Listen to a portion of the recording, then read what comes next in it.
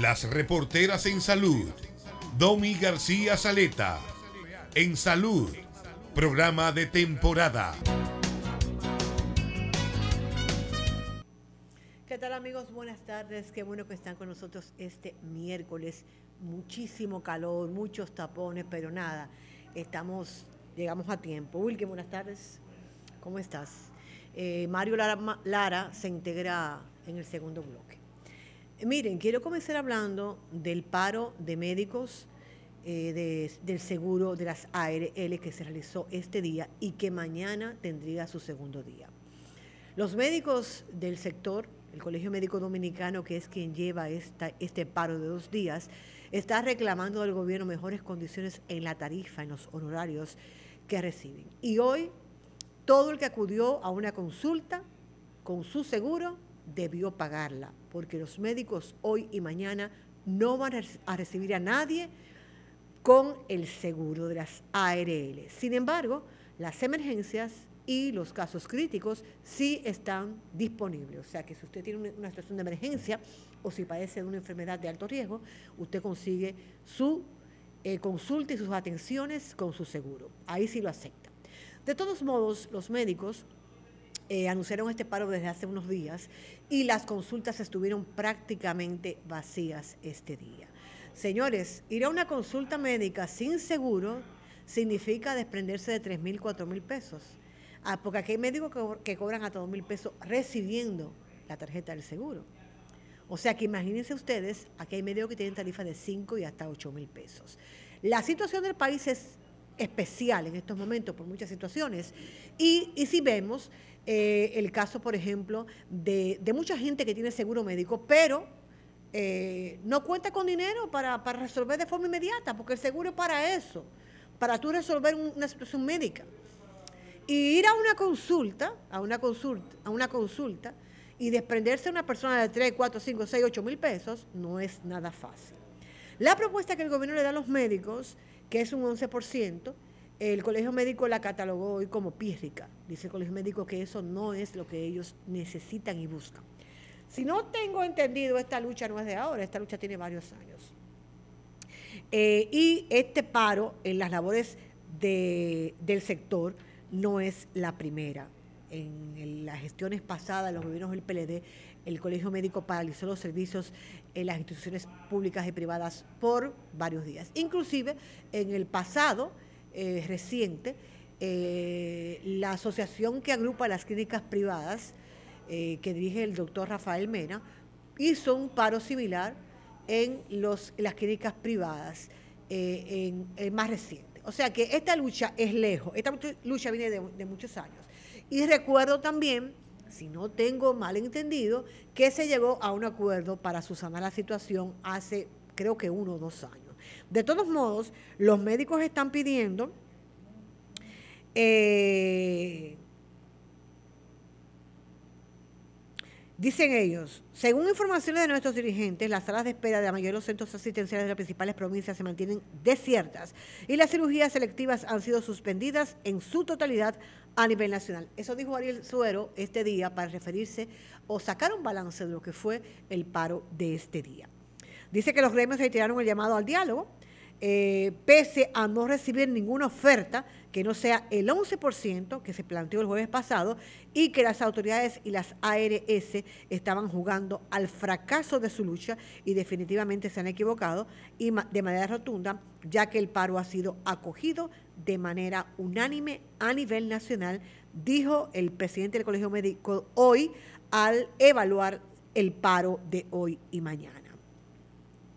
El Colegio Médico rechazó la oferta eh, del 11% a monto de las tarifas y honorarios que reciben por servicios que ofertan a los afiliados al considerar que se trata de una propuesta pírrica y pidió a los médicos atender las emergencias. De todos modos, el Colegio Médico dice que está abierto al diálogo, que podría mañana eh, eh, tener un acuerdo, llegar a un acuerdo, que él no descarta que pase eso, pero no en base al 11%, que eso no es lo que está buscando los médicos del pago a sus honorarios y tarifa. Miren, eh, Haití, la República de Haití, nuestro vecino país amigo, eh, rechazó las vacunas donadas por República Dominicana, que especial, específicamente es la AstraZeneca. Eh, Haití no, no, no, ha dicho una razón justificada o no ha puesto, no en la misiva que envió el, eh, que envió el presidente de la República, no dijo, bueno, por tal y tal cosa, sino que dice textualmente el funcionario que hizo como vocero de rechazo de las, de las vacunas contra el COVID, nadie nos ha contactado en el ministerio para tal oferta de vacunas de la República Dominicana. Y si este fuera el caso, la respuesta, la respuesta habría sido negativa de todos modos. Dice el texto, tenemos en existencia varios cientos de miles de dosis de vacuna moderna, de los cuales no tenemos cierta garantía de que podamos utilizarlas antes de su fecha de vencimiento, explicó el médico que hizo la carta a República Dominicana. Bueno, eh, yo creo que dos cosas pasaron ahí.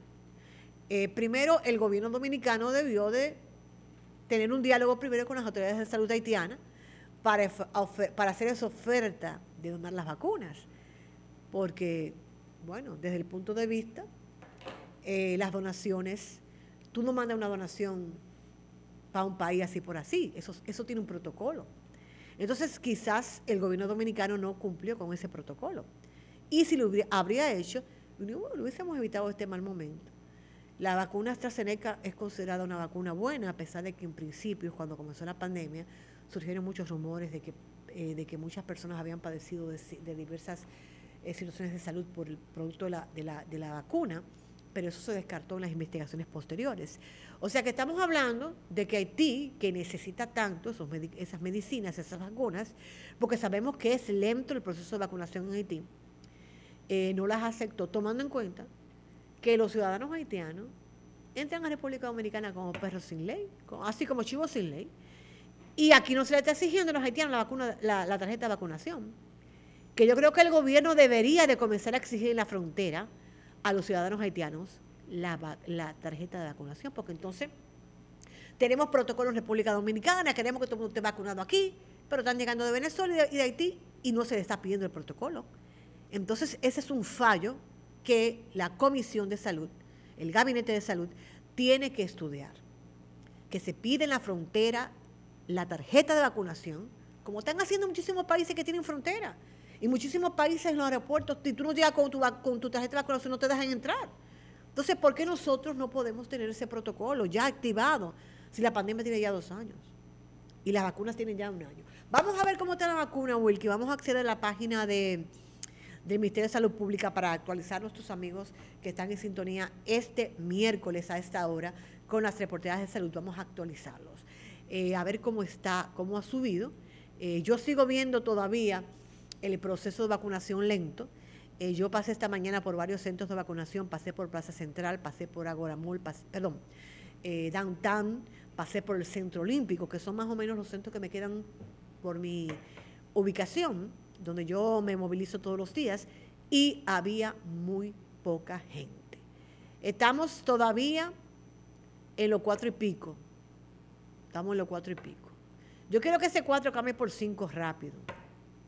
Porque no puede ser que no tengamos un mes con ese 4 ahí. Entonces, en total, eh, si tú, estás leyendo lo que dice en la esquina, Wilkin, ahí dice total qué? Los 11 millones y pico. Total dosis aplicadas. 11 millones y pico. 11 millones 344 mil 569. Bueno. Bueno. De todos modos, me gustaría que el proceso fuese un poquito más rápido.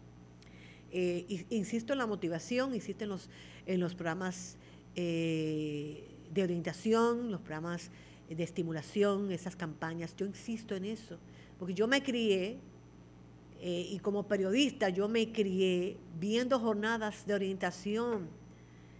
Salud Pública siempre ha hecho otra, pequeños eh, documentales o spots publicitarios que te dicen cómo cuidarte con el dengue, cómo cuidarte con, el cólera, cómo cuidarte con muchísimas enfermedades. Entonces, ¿por qué no hace un pequeño spot publicitario diciendo a las personas por qué debemos vacunarnos, por qué tenemos que tener dos dosis, tres dosis, por qué? ¿eh? porque la gente así se motiva y dice, concho, de verdad, déjame vacunarme, déjame llevar a mi mamá, déjame llevar a mi tía, déjame llevar a mis hijos. Y vamos a, salir rápido de este proceso para que cuando llegue diciembre, como he dicho tantas veces, tengamos un país más o menos abierto. Hay un decreto nuevo que dice que a partir de las 12 eh, no se podrá consumir ni beber bebidas alcohólicas y el uso de la mascarilla sigue siendo obligatorio. Yo he dicho que la mascarilla la vamos a estar utilizando todo el año. Y cuando llegue el 22, enero, yo creo que el que quiere usar mascarilla, yo me voy a quedar usando la mascarilla Wilkin yo. Porque me siento protegida, a mí no me ha dado el, el COVID, no me ha dado ninguna de las gripes que andan por ahí, ninguna me ha dado. Porque yo tengo mi protocolo activado desde que comenzó esta pandemia. Mi mascarilla donde quiera que yo estoy, aquí estamos Wilkin y yo solamente, estamos a una distancia considerable y yo estoy sin mascarilla. Pero yo me paro de aquí y voy al baño o voy a, cualquier lugar del, canal y yo me pongo mi mascarilla. Mis manos se lavan cada vez que yo entro y salgo de un lugar. Yo entro y salgo de aquí y me lavo mis manos. De donde yo estaba ahora, de mi oficina, yo salí y antes me lavé las manos. Ahora en cualquier momento una pausa voy y me las lavo de nuevo. El protocolo es que nos va a evitar contagiarnos, señores. Y usted, se, usted evita contagiarse usted usted le lleva tranquilidad a su casa, a sus amigos, a sus vecinos, a su medio de trabajo. Entonces, haga la práctica de mantener el protocolo activo. Vamos a una pausa y cuando regresemos, ¿qué, ¿cuáles son las provincias que ya tendrán más libertades? Porque hay un proceso de vacunación casi o pasando el 70%. Las reporteras en salud. Domi García Saleta. En salud. Programa de temporada.